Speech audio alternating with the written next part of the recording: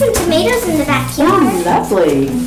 Hey, what's this? Well, I'm gonna put these over here. This is the mini filter, the Aqua Mini. What does it do? It filters water just like our under the sink filter does.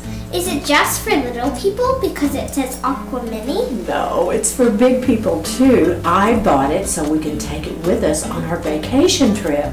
Oh, cool. Yeah. It looks really new. It's sparkly. Uh, and the water comes out sparkly too.